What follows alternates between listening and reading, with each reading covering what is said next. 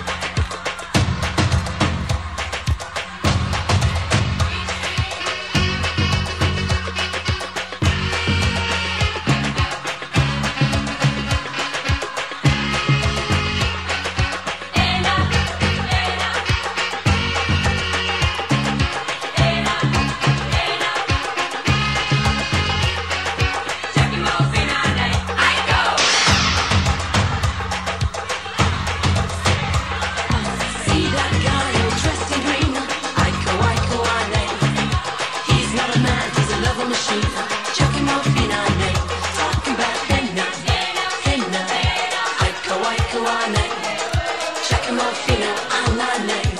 Giacomo Fina, name.